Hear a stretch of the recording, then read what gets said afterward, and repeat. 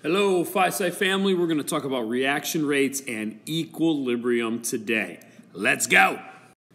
As we've been discussing in class already, reaction rates are just basically how quickly the reactants in a chemical equation are going to turn into a product. Some reactants are very, very quick, very, very violent. Think about rocket fuel burning. It's burning very violently, very explosively. Woo!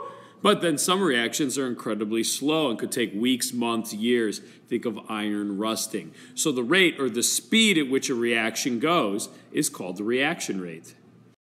The things that are going to affect the speed or the reaction rate itself would include everything listed here right now. If you increase your temperature, you're going to increase the kinetic energy of the particles, meaning that they're going to have a better chance of colliding into each other. And we know that when reactants collide into each other at just the right energy in just the right way, they're going to react. The same thing is going to be true if we increase the concentration of the reactants. By having more reactants in there, they have a better chance of knocking into each other and reacting, just like you in a crowded hall are more likely to collide with somebody. But what about surface area? Surface area is going to speed up a reaction as well because the smaller the pieces are, the more chance that you have for the reactants to interact with each other. Think about if something dissolving, like we've done an Alka-Seltzer tablet, crush it into a tiny, tiny powder, and that water that's in the cup when you pour the powder into it is going to be able to touch so much more of that substance more quickly. Why? Because there's a greater amount of surface area.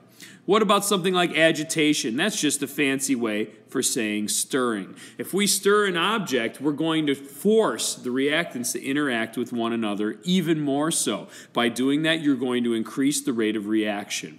And then finally, if you have gases interacting with each other on the reactant side, by smushing them together and increasing the pressure, you're going to force them to be closer together. Since they're closer together, they're more likely to interact. Since they're more likely to interact, they're more likely to react, which means that the reaction rate increases. Makes sense? It should.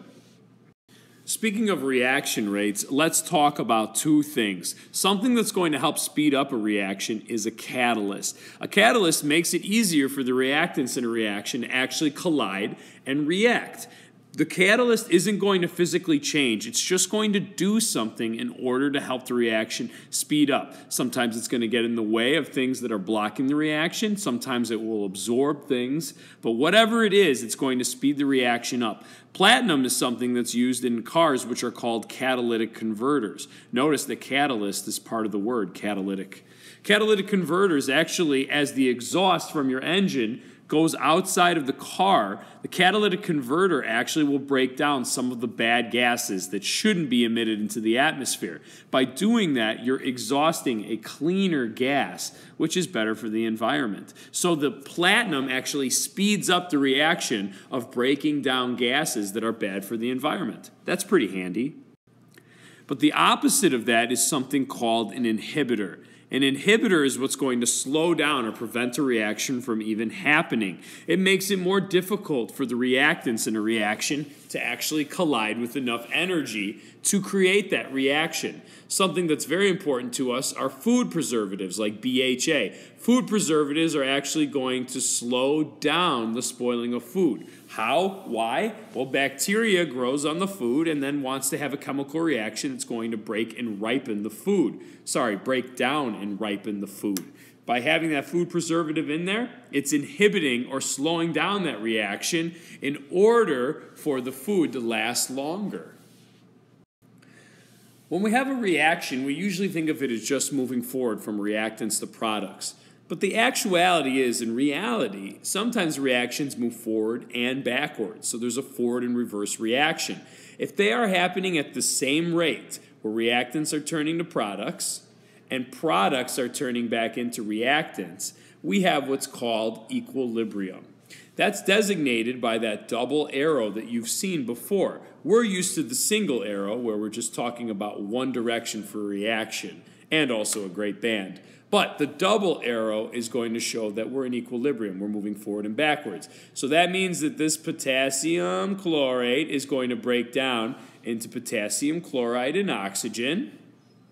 But it also means that the potassium chloride and oxygen will react to form potassium chlorate. It's reverse and forward reactions. When it happens at the same rate, again, we call that equilibrium. Le Chatelier's principle is a fancy way of saying that when objects are, I should say, reactions are in equilibrium, whenever you put any type of stress on that equilibrium, meaning any type of change on either side of the equilibrium, it's going to shift to relieve that stress. So, for example, by adding more KClO3, by adding more reactant, you are going to shift the reaction the other way because it's going to break down and balance out on the reactant side.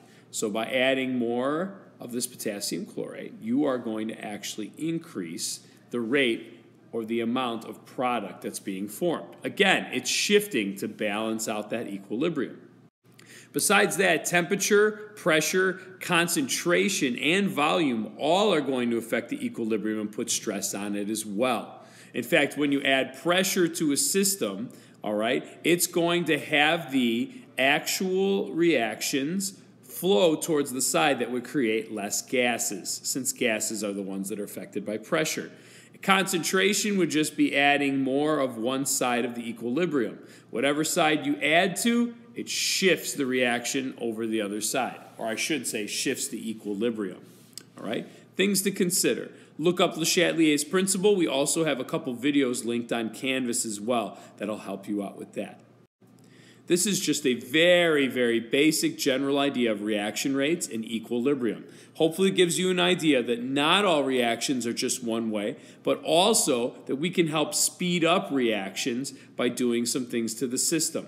Vice versa, we can also uh, have equilibriums be affected and shifted from one side to the other by also doing some different things as well, by adding stresses to the system, like changing the temperature, pressure, concentration, or volume. Thanks for listening. Best of luck. And don't forget, besides my videos, there's thousands of videos out there on YouTube. Try to find credible ones that can help you as well. Looking at the comments section can help you see how credible the video really is. The good thing about critics online is that they do pick apart presentations, just like they could for mine, where you can see how we could improve our information or knowledge being spread. Best of luck.